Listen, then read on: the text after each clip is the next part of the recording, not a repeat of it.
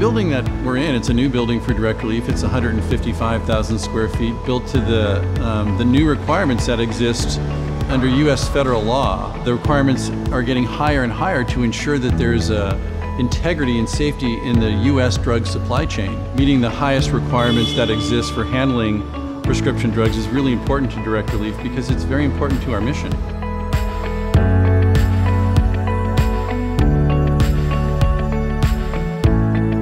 Direct Relief is called upon more than ever to respond on a daily and emergency basis with medical resources that people need but cannot afford. To help meet this global demand for charitable medicine, Direct Relief operates a 155,000 square foot warehouse and distribution center with 10,000 pallet spaces and 12 truck bays.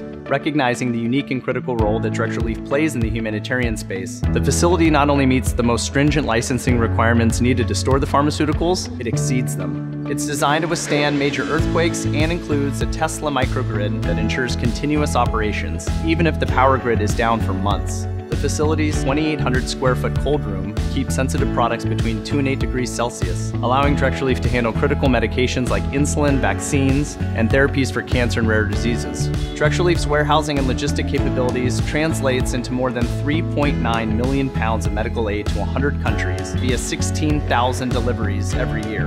While the scale of these operations is unique among nonprofits, for Direct Relief, it's not about the volume of the medicine, but the people that are helped as a result. The work that Direct Relief does for people who can't afford it does not mean that it should be done or could be done to any lesser standard than for anyone else in the world. And although Direct Relief does it for humanitarian purposes, we thought that is the standard that exists for any everyone in the United States, and it should be uh, the similar standard for everyone in the world that Direct Relief, as an American organization, is helping.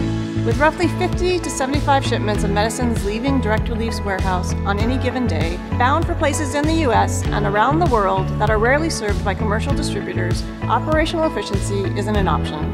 It's an imperative that we must do right. That extends to highly complex situations like disasters, where the supply and demand for products is constantly in flux, and to cold chain shipping, which requires careful handling and tracking throughout the supply chain. These conditions compel Direct Relief to be nimble and constantly think of ways to maximize impact by leveraging available resources.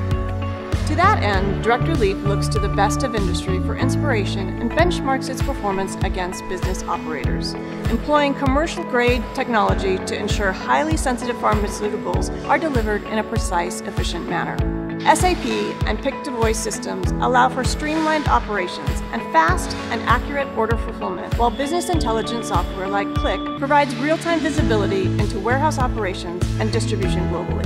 We're not a business, but functionally, for those we serve who lack access to commercial markets and rely on donations from Direct Relief, we must operate like one. If you're in business, you're not looking at who can't buy what we're making and selling. You're looking at people who can so I think when we approach healthcare companies and ask them to participate in some of this work, it is with the understanding that they have keenly important reasons for making sure that the quality of their products, that their brand integrity, that the way their product is handled is handled as well for charitable purposes as it's being handled for commercial purposes. Direct Relief's compliance program ensures the authenticity of medicine safely delivered through a secure supply chain. We strive to be indistinguishable from commercial channels for healthcare products. Our products are sourced from licensed manufacturers and wholesale distributors, safeguarding against counterfeits and contraband. By requiring our partners to maintain proper licensing, we support the safe and responsible dispensation of medicine to patients whose access would otherwise be limited or non existent. Direct Relief is one of the only charitable organizations to be accredited as a verified accredited wholesale distributor by the National Association of Boards of Pharmacy. We operate under the jurisdiction of the California State Board of Pharmacy, the California Department of Health, the FDA, and the DEA. In order to maintain VAWD accreditation and ensure regulatory conformance, Direct Relief has implemented an extensive framework of standard operating procedures to govern routine processes and documentation. We welcome regular audits to ensure our compliance with state and federal regulatory standards, in addition to the rigorous standards set by our healthcare product donors who trust Direct Relief to safely deliver highly regulated pharmaceuticals worldwide to over 1,700 healthcare providers. Direct Relief's culture of compliance enables us to achieve the operational excellence required to carry out our mission. Compliance allows us to do more for more people in more places. It's the foundation of Direct Relief's work to improve the health and lives of people in need. I think in many respects, Direct Relief goes beyond what is minimally required, difficult though that is, to make sure that we're doing it as well as it can be done.